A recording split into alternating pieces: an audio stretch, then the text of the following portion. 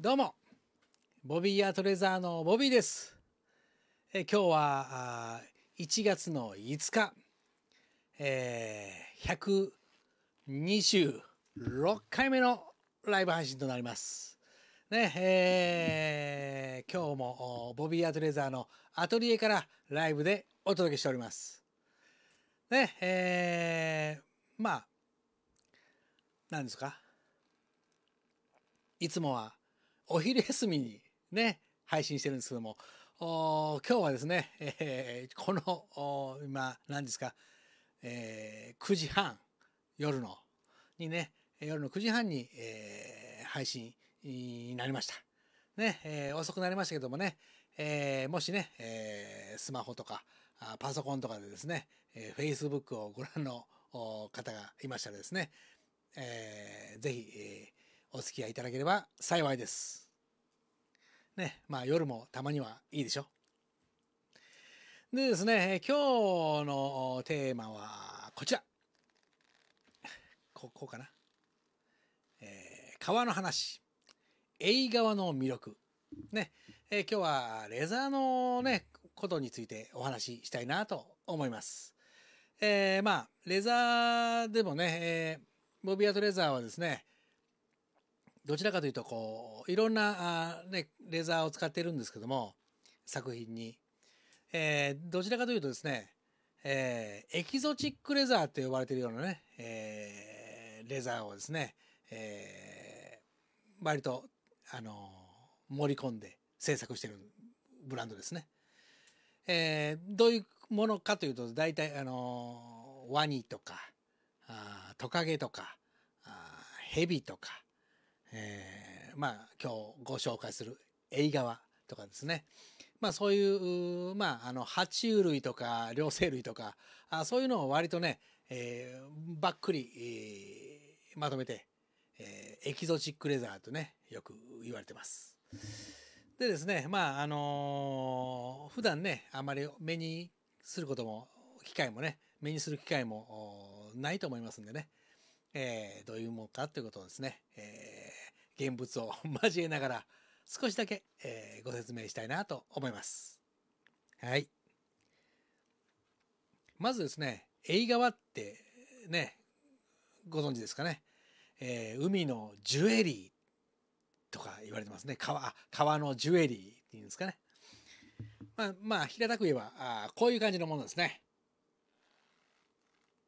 まあ今あのざあのアトリエに在庫しているレザーですけどもねこんな感じ。ね。あの特徴的なのはですね大体こういう感じであのこうここがねこう粒がついてるんですよね。そこをこうまあ塗装したで仕上げたあレザーにですねこうグラインダーでこう削ってですね、えー、カルシウム分の残ってるところの塗装を剥いでえー、こう白いところをね残して。これがまあ特徴的なあレザーですね。ご覧いただけますか？これちょっとあのつぶつぶの感じがありますね、まあ、この辺はザザラザラしてるっていうかあのなんかたまにテレビとかで見たことあるんですけどもうあの動画とかで。あのわさびとかなんかそういうのをねおろすおろなんかおろすようなのに多分使われてたような気がします。うんおぼろげな記憶ですけどもね、えー、またちゃんと調べてから今度は放送したいと思います。でまああのこれがあ目目ですよ。あの多分こんな形ですよ。ね。でここにこまあここが尻尾ですよね。ピューンとこう毒がついててね。でこの辺が多分ヒレがついてるんでしょうね。この辺のところはえいひれになってみんな食べてるんでしょうかね。まあその辺はちょっと詳しくは分かんないですけど、なんかそんな、形的にそんな風にいつもあの想像してしまいますね。なんかお化けのような、あゴーストのようなね、ちょっとこうこういうちょっとね、あのマスクマンのような感じ。まあこれはどっちかというと小さいタイプですね。うん。こう、ね。でまああとまあもうサイズもいろいろあったりとかするんですけどね。で、まあ、こういうのは割と、えー、と小物とかでね、えー、ポピュラーに割と流通されてる作品と、作品というか、あ革商品、革製品としてね、えー、販売されてますね。まあ割と手に入りやすい、えー、いろんなこう色があって黒とかあブルーとかあまあまあまあまあ割といろいろポピュラーな感じですね。まあ、これはどっちかというとこの幅もちっちゃいので、えー、まあ多分コインケースとかあとあのインレイって言ってですねあのこうくり抜いたりしてねここにあのこうクロス柄とかねあの十字架のようなねとかそういうのにねあのなんかこう使ったり、えーまあ、ワンポイントで、えー、使ったりするようなそんなあ大きさですねこれは。それのもうちょっと大きい版のやつこれはちょっとピンク色のがたまたまあ在庫してるのがまあまあアトリエに置いてるのがあったんでね。まあまあ大きいパターンですね。ほらもう隠れるでしょ？完全に。これがですね、えー、これもまああのこれも大きいですね。まあまあまあまあ大きいですよ。もう比べてみたらあもうちょっと待ってくださいね、えー、こんな感じですね。もう全然違いますね大きさもね。ねちょっとこうペロッとなってますね。これね。まあこんな感じですよ。ね。え、まあこれが大体、えー、お財布とか、えー、そういうのにね、えー、使われてますねまああのこれがよく見るこのねワンポイントのこれが特徴的なねこの粒がねまだあの詳しいことはですねあの写真とかはあのブログの方にですね、えー、載せてますんでね解説してますね。川の話っていうところの欄にね。まあ、あの、下の URL をご覧いただければ、そこをタップ、クリックしていただければ、ホームページに、飛びますんでね、ブログの記事に。まだ、あの、ご覧いただければ幸いです。それとですね、あのー、まあ、大体まあこれ映画はっていうのはこんな感じですね。これ多いです。ただまあ、ボビーアートレザーで、えー、メインで、えー、使ってるものがですね、えー、ちょっと形が変わってます。えー、こちらですね。まあ、ちょっと待ってください。じゃじゃん。ね。あの、効果音とかもないんでね、あの、あれですけど、じゃじゃんとか言ってますけど、こういう、あの、さっきのこの、おじゃじゃんって、ね、こんな感じ、こんな感じですね。あのー、連石液って僕ら言ってますけど、ね、もうこれもガルガルーシャとかいろいろなあ、まあ、スティングレイねいろいろ言われてますけど大体まあここういう形がねこういう少しだけこうの乗ってるのがね特徴的ですけどね、えー、ボビー・アトレーザーが扱ってるのはですね、えー、まああのもともとの値段もおあの倍で効かないぐらいの あの価格帯のものですけどもね。ちょっとこの細長いこのこの削ってるあのこうつぶつぶのところがですね、こんな感じですね、えー、こうカルシウム分のねトゲトゲの突起物がね、えー、いろいろこうある感じのね、えー、です。これは連石ですね。これ長いでしょこれ。大体まあ大体ここれぐらいの大きさのものを使ってますね。おそらくこちらの方が顔なのかこっちが顔なのかちょっとあれですけどもまあ形がまあ多分種類がもう A のその生きた状態の形が違うんですよね。うん、あのまあこっちの方が僕は個人的に、えー、かっこいいなと思ってますし、うん、まああまりたまにもねあのオーダーメイドとかってね使ってるところのレザーブランドはね、えー、大体ここの辺好みで、えー、使ってると思いますけどもね、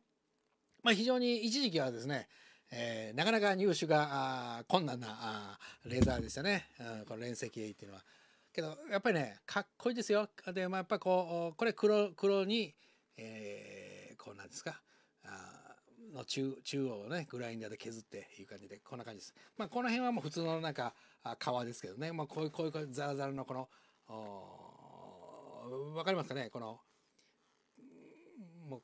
皮っていうよりもあまたあの途切れましたね。映像がちょっと待ってくださいよ再起動しますねえー、あまり、えー、画面にね近づきすぎたらですね、えー、どうも 止まるでしょうね。カメラ側がねちょっと遠慮してるんでしょうね。でこんな感じで。でまああのこういうのをね使ってます。えっとどんな風に使ってきてるかというとねまああの作例はいろいろあるんですけどもまあまああメディスンバッグとかうん、そういうフラップ部分に使ったりもしますね。あとまあこういう感じですよ。じゃんね、えー僕のこの普段いつもこの配信してる時に、えー 着ているうーね川ちゃんのこのねえーこどうどう見たらいい？ここんな感じ？ねあのこういううカフスのところっていうかあのねところに、えー僕はあ普段こんな感じで、えー使ってますね。であとはあのブレスレットとかね。それとかあ今まあパッと出てくるものっていうのはほとんどまああ僕のねボビー・アトレーズの場合はあのほとんどおお9割以上はお客様のね作品の方に、えー行ってますんでね、えーこれもおまあ昔これも十数年 もう色も変わってますね、えーもう最初は同じですよ、ね、だけど使ってるうちにこうこう意外にや柔らかいんですよこれあの、うん、なんかこうビーズで編んだような感じですよ。でまあそれで表面の黒いところもね、えーグレッシュになってでまあね色もこう変色して、えー経年変化ですよ。ね、えーこんな感じにね、えー成長していきます。けど、へたったりはしてませんね、レーザー自体は。なんか、あの、聞いたところによるとですね、昔はほら、あの、鎧兜とかの、あの、なんかにね、使ったりとか、あ高級、高級な感じのね、えーあの、あの、武道の、なんかに使ったりとか、あしてますね。うん。まあ、刀傷は多分入ると思いますけどね。ただ、これはですね、あのー制作する時にですね、えーいろんなものちょっとあのーリスクも伴うんですね。これを見てもらいましょうか。これいつもあのポンチねこれをでこう僕の場合こう穴をこう開けてですねでこう革紐でかかっていくわけですよこうこんな感じでねご覧いただくここうして自分の自分を隠したらいいんかなこここんな感じですよ。ね。その時にここれをで穴を開けるわけですよ。でこれご覧いただけますかね。この先っちょ。これもうもうダメージが半端ないでしょ。ねこうあのもう格闘してるわけですよこれ。ね。あのー要はねえーちょっと待ってよ。まあある種これ革とかレザーとかねまあいう名前がついてますけど僕からしたら骨ですよこれ。骨。要はねあのこのつぶつぶあるじゃないですか。こうこういうつぶつぶ白いとこ。ここはですね硬いの。ね。音聞こえますか？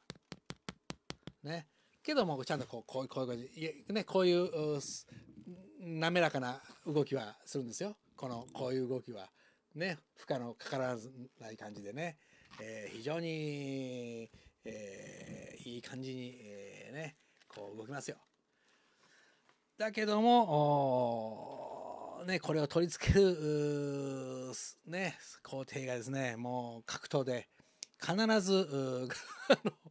もうこれももうお釈迦になっていくら磨いてもおねこのこうなんていうんですかあの包丁研ぎみたいなやつでこう研ぐわけですよこう。ね。もうもうもうこれは無理ですね。もうここまでここまで行ってしまったらね。斜めになってるの分かりますかね、えーパソコンでご覧の方はね後で、まあ、あのご覧いただければと思いますけどね。もうこれはまあまあたまたま残してたのがあったんで、うんまあこういう時に役に立つんですかね。もうもうまあこういう感じで、まあ、ポンチはまあ、まあ、年間何個かお釈迦にでしちゃうんですけどあのーまあこれもそうですし手縫い用の、あのー道具もですね、えーこう傷みますね。だからあ非常にリスキーな 作り手側としてでもですね非常にこうあのー技術力を要する、ね、失敗もできませんしね穴失敗して開いてもうたとかいうわけにいかないですからね。もうやってしまったら終わりなんですんでね、うん、だからまあそんな感じで、えーレザーと格闘してますけどねまああのただもうそれを作品に込めたりとかやっぱりこうちょっとしたものにこういうふうにね、えーしたらですねやっぱり、えーかっこいいですし、まあ、色あせずない感じでね、まあ、こっちの方はちょっとこういい感じで、えー基盤で着てますね。あとたまに着てるあのジャケットの襟とかにもねつけたりとかいろいろね、えーこれまでの間ね、えー大体こう装飾にちょっと使わせてもらったりしますね。うん、まあまあ1枚ベラッとベラッとこれねこれでギターストラップとかかっこいいでしょうね。うん、こうこういう感じでね、まあ、これはまああの今大きいですけど例えばまああそうやね。ちょっと待ってよ。こんな感じでねこんな感じギターのストラップとかねベルトとかいいかもしれませんね。ただまああのこれまっすぐに見えるじゃないですかまっすぐに。ねまっすぐにね。多少はやっぱ生き物なので 多少のこう歪みとか反りはあどうしてもね出るんでね、えー、なかなか大変なんですけどもね。それをこうなるべくこうまっすぐに見えるようにこうね加工するのも僕の技術ですけどね、えー、作り手の技術ですけどね。それをまあややってみたりとかねしてます。あの海海のジュエリーっていうかあのレザーのジュエリー。ね、えー、これはですね、えー、ぜひともねなんかこう作品にね、えー、スパイスをこれをね加えてもらえればあ僕はあかっこいいかなと思いますし、えー、10年20年ね全然持ち持つっていうかあの美しさはあ進化しますし、うん、もの自体はこれがいい感じで黄ばんできてね経年変化もしますよ。ねヌメ側のようにこうちょっと黄ばんでくるわけですよ。まあ、これもちょっと黄ばんできてますけどねいい具合でねこうこれ自分の方には見えてるけどねあの動画の方にはあ半分しか見えてないから あれですけどまああのそういう感じですね。あのレザーでも僕は映画は美しいなと思いますし、えー、かっこいいですし、うん、これはもうね男女問わず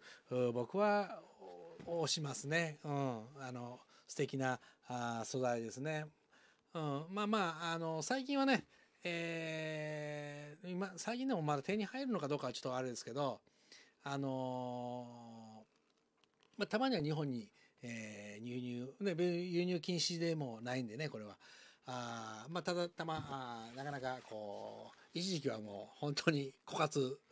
してなかなか日本に入ってこなかった時がありましたね。うん、噂かどうかじゃないしに実際になかったですね なかなか、うん、入ってこなかったもうあのなんとかあ頼頼んでですね、えー、輸入してもらいましたね。まあ今ボビーアトレーザーのアトリエにはですね、えー、この黒でしたらあ何枚かねありますんでね、えー、大胆な作品をですねあのお作りさせていただきますね。うん、あのもうほんま一生もんですよ。まあそんな感じでですね、えー、今日はあレザーのね革の話ということで、えー、エイ革の魅力スティングレイのね革の魅力をお伝えしました。ねご覧いただきありがとうございます。それではまたお会いしましょう。ボビーでした。じゃあね。